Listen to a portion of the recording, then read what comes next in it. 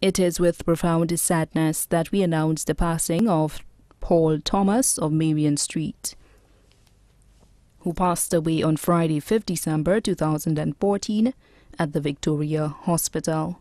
He was 58 years old. He was employed with Crick's Funeral Home Limited.